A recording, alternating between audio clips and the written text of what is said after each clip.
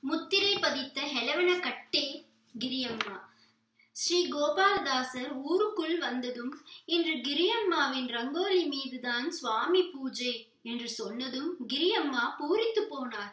அதற்கென பிரத்யேகமாக ஸ்ரீ கோபாலகிருஷ்ணர் சித்திரத்தை கோலமாக்கினார். பூஜா விக்கிரகங்கள் வைக்கும் இடத்தில் இன்னொரு கோலம் போட்டார். பூஜை நடந்து கொண்டிருக்கையில் ஸ்ரீ கோபாலதாசர் கிரியம்மா போட்டிருந்த கோபாலகிருஷ்ணர் கோலத்தையும் கிரியம்மாவையும் மாறி மாறி பார்த்தார். உடனே கிரியம்மா ரங்கோலியை பார்த்தபோது சித்திரமாக இருந்த கோபாலகிருஷ்ணர் உயிர் பெற்றதை போல் இருப்பதைக் கண்டு ஆனந்தித்தார். அதனை போற்றும் வகையில் கோபாலதாசர் அவ்வூரிலிருந்து கிளம்பும் போது ஒரு கோபாலகிருஷ்ண விக்கிரகத்தை கிரியம்மாவிற்கு தந்து சென்றதும் அடுத்த நாளில் இருந்து அதிகாலை எழுந்து வழக்கமாக செய்யும் வேலைகளோடு அந்த கோபாலகிருஷ்ண விக்கிரகத்திற்கு அபிஷேகம் என்ன? அலங்காரம் என்ன? விதவிதமான நெய்வேத்தியம் என்ன? என்று அமர்க்கலப்படுத்தினார். தனக்கு ஒரு குழந்தை இருந்தால் அதை எப்படியெல்லாம் சீராட்டுவாரோ அதை போன்று அந்த கோபாலகிருஷ்ண விக்கிரகத்தை நினைத்து கொண்டு அனைத்தையும் செய்தார். விக்கிரகத்தை நடுவில் வைத்து பெண்டிருடன் சேர்ந்து அதை சுற்றி சுற்றி கும்மி அடிப்பதென்ன கோலாட்டம் போடுவதென்ன என தொடர்ந்தது. முன்னை காட்டிலும் கிரியம்மாவை காண வருபவர்களும் அதிகரித்தனர். காணிக்கையும் அதிகரித்தது. வீட்டில் உள்ளோரின் மகிழ்ச்சியும் அளவுக்கு அதிகமாகியது. அவ்வளவு காணிக்கைகள் வந்தபோதும் தனக்கும் அதற்கும் சம்பந்தம் இல்லாதது போல் கிரியம்மா இருப்பார். கிரியம்மாவிடம் ஸ்ரீ கோபாலகிருஷ்ணர் விக்கிரகம் வந்த பின் ஆடலோடு பாடல் புனையவும் ஆரம்பித்தார். கீர்த்தனை இயற்றும் அபார சக்தியும் அவருக்கு வந்தது. தனிமையில் அவர் பாடல் இயற்றி பாடுகையில் விக்கிரகமாயிருந்த கோபாலகிருஷ்ண விக்கிரகம் ஆடவும் துவங்கியது. நம் ராயர் இந்து எனக்கே கோவிந்தா பாடலை இயற்றி பாடிய போது அந்த சந்தான கோபாலகிருஷ்ணர் எப்படி ஆடினாரோ அவ்வாறே கிரியம்மா பாடிய போது விக்கிரகமாயிருந்த ஸ்ரீ கோபாலகிருஷ்ணர் ஆடினார். தாசர்கள் எல்லாம் பெரும்பாலும் தமது பாடல்களின் முத்திரையாக விட்டல என்னும் பதத்தை உபயோகிப்பர். ஸ்ரீ புரந்தரதாசர் புரந்தர விட்டல ஸ்ரீ ஸ்ரீ பாதராஜர் ரங்க விட்டல ஸ்ரீ கோபாலதாசர் கோபால விட்டல என்பதைப் போல விட்டல என்று இல்லாமல் பிரத்யேகமாக சுவாமியின் பெயரையும் சேர்த்து முத்திரிகையாகவும் சிலர் வைத்துக் கொள்வர். ஸ்ரீ வியாசராஜரின் முத்திரிகை கிருஷ்ண ஸ்ரீ கனகதாசரின் முத்திரிகை காக்கிநில ஆதிகேசவ என்பதாகும். அதுபோன்று கிரியம்மாவும் தனது கீர்த்தனைகளில் ஹெலவன கட்டைய ரங்கா என்கின்ற முத்திரையை கொண்டி முத்திரிகையை கொண்டிருந்தார். முத்திரிகை என்பது இன்னார் இயற்றியது என்பதை அறிந்து கொள்ளும் ஓர் அடையாளம்.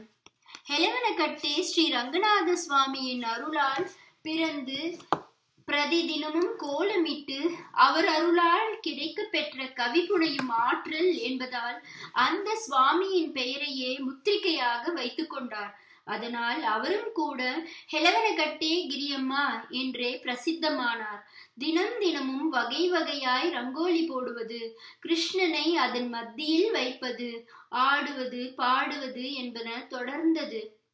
இதில் கிரியம்மாவின் கணவரும் சேர்ந்து கொண்டு தன்னால் ஆன உதவிகளை மனைவிக்கு செய்து வந்தார். இதை கண்டு நகைப்பதா பரிதாபப்படுவதா என்று ஊராருக்கு தெரியவில்லை. ஜாடை மாடையாக திப்பரசு குடும்பத்தாரிடம் இதை எடுத்து கூறினர். திருமணம் என்று செய்து கொண்டு கணவனுக்கு தக்க மனைவியாய் நடந்து கொள்ளவில்லையே கிரியம்மா என்று நேரிடையாகவே இடித்து கூறினர் சிலர். கணவனுக்கு இன்னொரு விவாகம் செய்து வைப்பதாக சொன்னாலே எல்லாம் வாய்ப்பேச்சுதானா என்கின்ற பேச்சும் பரவலாக எழுந்தது. கிரியம்மாவின் செவிகளிலும் இது விழுந்தது. உடனே கணவர் திப்பரசுவிடம் கிரியம்மா பேசினார். முதலில் மறுத்த கணவர் பின்னர் ஒப்புக்கொண்டதால் தானே முன்னின்று பெண் பார்த்து தன் கணவனுக்கு இன்னொரு திருமணம் செய்து வைத்தார் ஹெலவனக்கட்டே கிரியம்மா. தனது கணவரை கவனித்து கொள்ள இன்னொருத்தி வந்ததனால் முன்னை காட்டிலும் அதிக நேரம் ஹரியை கொண்டாடுவதற்கு அவரால் முடிந்தது. ஆனால் வீட்டிலுள்ள ஓரகத்திகள் உள்ளிட்டோர் இதற்கு ஆதரவு தெரிவிக்கவில்லை. என்னதான் இன்னொரு திருமணம் செய்து வைத்தாலும் கணவனை கூட கவனிக்காமல் இப்படி சதா ஆடிக்கொண்டும் பாடிக்கொண்டும் பாடல் எழுதி கொண்டும் வருபவர்களோடு பேசிக்கொண்டும் இருப்பதுதான் முறையா? இதுதான் பெண்ணின் தர்மமா? என கேள்வி எழுப்பினர். முன்பு காணிக்கைகள் எது வந்தாலும் கவனிக்காமல் கிரியம்மா இருந்தது போக திப்பரசுவிற்கு இன்னொரு மனைவி வந்ததில் அதில் தலையிடுவதில் கொஞ்சம் மனசுக்குள்ளே கோபமாக இருந்தனர். அதை வெளிப்படுத்த கிரியம்மாவின் செயல்களை குற்றம் சொல்ல ஆரம்பித்தனர். செயல் ஒன்றாகவே இருந்தபோதும் அதை எடுத்துக்கொள்பவர்களின் மன ஓட்டத்தை பொறுத்தே நேரத்திற்கு நேரம் மாறுகிறது. கிரியம்மா இதை கண்டெல்லாம் எதற்கும் கலங்கவில்லை. வீட்டில்தான் இப்படி என்றால் வெளியிலும் கிரியம்மா ஒரு பெண் என்பதனால் கண்ணை மூடிக்கொண்டு அவ்வூரில் இருந்த சிலர் எதிர்க்க ஆரம்பித்தனர். தாசர்களைப் போல் ஒரு பெண்மணி பாடுவதா ஆடுவதா எல்லோருக்கும் ஏதாவது சொல்லிக் கொண்டிருப்பதா என இஷ்டத்திற்கு பேசி வந்தனர். கிரியம்மாவின் வீட்டில் இருந்தவர்களும் சேர்ந்து கொண்டதும் அவர்களுக்கு இன்னமும் குஷியாகி போனது. குழந்தை இல்லாதவள் சுவாமி பூஜை செய்வதும் நைவேத்தியம் செய்வதும் எல்லோருக்கும் தருவதும் இதெல்லாம் தர்மமா என்று ஏளனம் செய்தனர். இப்படிப்பட்ட சூழ்நிலையில்தான் ஸ்ரீ சுமதீந்திர தீர்த்தர் இவ்வூருக்கு வருகையில் ஊர் எல்லையிலேயே எதிர்ப்பாளர்கள் ஏதேதோ சொல்லினர். ஆனால் ஸ்ரீ ராகவேந்திரர் அமர்ந்த பீடத்தில் அமர்ந்திருக்கும் ஸ்ரீ சுமதீந்திரருக்கா இதெல்லாம் தெரியாது போகும். இதனால் தானே சமஸ்தான பூஜை முடிந்து கிரியம்மாவிற்கு தீர்த்தம் தருகையில் அந்த கரத்தை கண்டு இது தெய்வாம்ச பொருந்திய கரமாயிற்றே என எண்ணினார். அடுத்த நாள் காலை முத்ராதாரணைக்கு அநேகம் பேர் காத்திருந்தனர். அவரவர்கள் குருமார்களிடம் இவ்வாறு முத்ராதாரணம் செய்து கொள்வதென்பது மத்வ சம்பிரதாயத்தில் பிரசித்தம். வேறு சம்பிரதாயத்தினரும் செய்து கொள்வது உண்டு. இவ்வாறு செய்து கொண்டால் எல்லா பாபங்களும் தோஷங்களும் நீங்கும் என்பது ஐதீகம். கோபி சந்தனத்தை குழைத்து இட்டுக்கொள்ளும் முத்திரை அல்ல இது. குமிட்டி அடுப்பிலே தீ மூட்டி அதிலே சங்கச்சக்கர சின்னங்கள் உள்ள சூட்டுக்கோலை காய்ச்சி ஆடவரின் வலது புஜத்தில் சக்கரமும் இடது புஜத்தில் சங்கமும் பீடாதிபதிகள் பதிப்பர். பெண்டிற்கு முழங்கைக்கு கீழே உள்ளங்கை உள்ள வா வாகில் பதிப்பர். சங்கு சக்கர சின்னங்கள் அப்படியே பதிந்து மாத கணக்கில் அந்த வடு இருந்து பின்னர் மறைந்துவிடும்.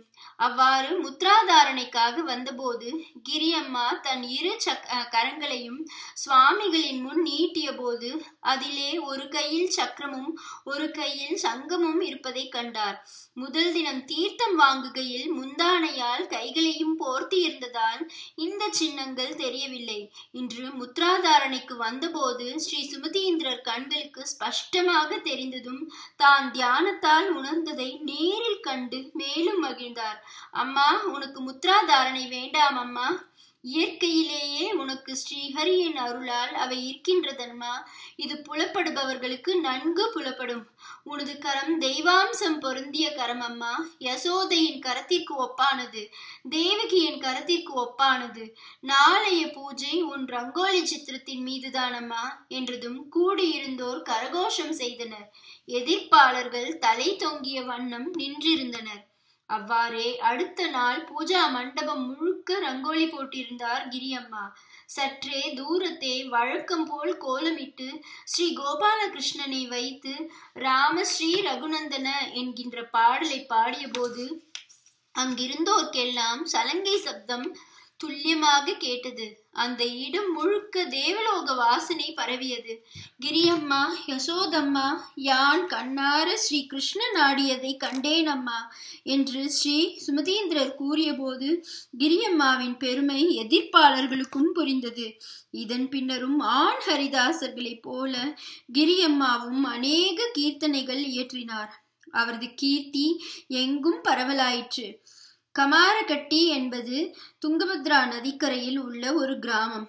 அந்த கிராமத்தில் ஸ்ரீ ஆஞ்சநேயருக்கு ஒரு ஆலயத்தை கிரியம்மாவே முன்னின்று நிர்மாணித்தார். அதே துங்கபத்ரா நதியில் ஒரு சமயம் வெள்ளம் வந்தபோது கிரியம்மா அந்த வெள்ளத்தில் ஜல சமாதியானார் என்று கூறப்படுகிறது. எப்படி ஸ்ரீ புரந்தரதாசர் ஹம்பி துங்கபத்ராவில் அந்தர்தியானமானாரோ அவ்வாறே கிரியம்மா துங்க துங்கபத்ரா நதி வெள்ளத்தில் ஐக்கியமாகி இருக்கலாம் என்று சொல்லப்படுகிறது. துங்கபத்ராவில் பிரளயம் என்பது காலம் காலமாய் இருந்து வருகிறது என்பது ஹெலவனகட்டே கிரியம்மா சரித்திரம் மூலமும் தெரிய வருகிறது. இவ்வாறு துங்கபத்ராவில் எப்போதெல்லாம் வெள்ளம் வந்தது அதனால் என்னவெல்லாம் ஆகியது என்பதற்கெல்லாம் பழைய வரலாற்று ஏடுகளை கண்டால் தெளிவான விடை கிடைக்கும் என்பதும் தெரிகிறது. இப்போது நம் கண் முன்னே ரெண்டாயிரத்தி ஒன் ஒன்பதாம் வருடம் அக்டோபரில் மந்திராலயத்தில் வந்ததே வெள்ளம். அப்போது அங்கே என்ன நடந்தது என்பதை இந்த நூலிலே நாம் பதிவு செய்வோம். ஏன் நடந்தது என்பதை அலசுவோம். இது குறித்து என்னிடம் ஆயிரக்கணக்கானவர்கள் பல்வேறு கேள்விகளை கேட்டு துளைத்து விட்டார்கள். எல்லாவற்றுக்கும் எட்டாம் பாகத்தில் பதிலளிக்கிறேன் என்று சொல்லியிருந்தேன். பதில்களை காண இனி மந்திராலய வெள்ளத்தில் நீந்தி வருவோம். வாருங்கள்.